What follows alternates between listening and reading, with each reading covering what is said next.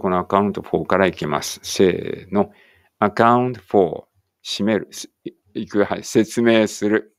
ask for、求める。be good at が得意である。be interested in に興味がある。be tired of に飽きている。bring in 持ち込む。導入する。call on 訪問する。頼む。check out 確認する。come to life 生き生きとする。fall apart 壊れる。find out 知る。見つける。get along 仲良くする。get together 集まる。give out 配る。go ahead 前進する。進める。hang on 待つ。keep a secret 秘密を守る。leave out 除外する。Look forward to 楽しみにする。make fun of からかう。make it happen 実現させる。make it up 和解する。put away 片付ける。put off 延期する。あ、これさっきやったね、これね。run across 全偶然出会う。あ、これもやったな。set off 見送る。えー、あ、これ間違った。see off 見送る。Set aside 脇に置く。stick with を続ける。take a break えっと、休憩を取る。take notice of 注意を払う。take over 引き継ぐ。turn against 反対する。turn in 提出する。wait for 待つ。watch over 見守る。work out 解決する。Add up 合計する。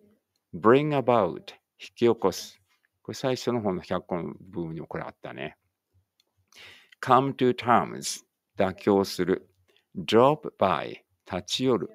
end up 結局になる。give up on 諦める。go through with 最後までやり遂げる。keep up 続ける。let out 放出する。Live with 受け入れる。make a decision 決定する。miss out 逃す。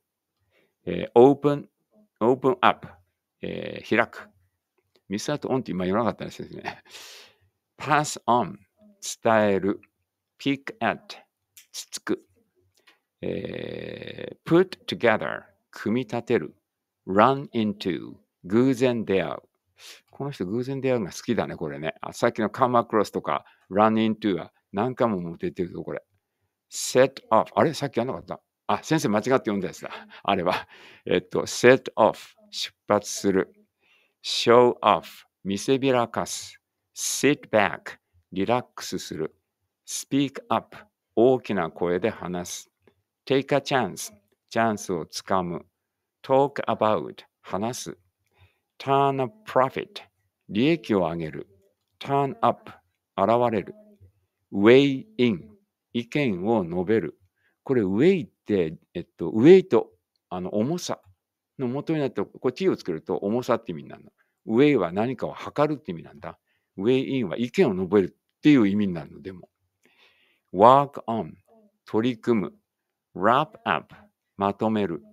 break down 故障する。Bring together 結びつける。come along やってくる。come in handy 役に立つ。fill out 記入する。この記入なのに アウトなんだよね。でも考えてみると、まあそういう感じもするかなって、フィルって埋める、満たすって意味なんだけど、えー溢れるくらいに満たす。だから記入するってことになるんだけど、日本は new を使うのに、英語は out を使うのは不思議だよね。Find oneself 自分を見つける。get back at 仕返しする。give and take 妥協する。go after 追い求める。hold on to 手放さない。keep track of 追跡する。look back on 振り返る。make a point 主張する。make sure 確認する。pick up the pieces 復旧する。put down 書き留める。run out of がなくなる。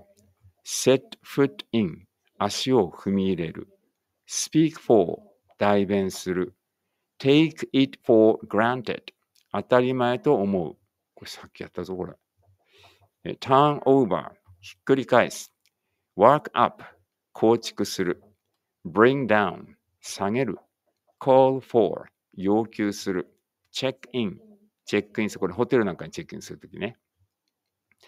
えー、come back to 戻る。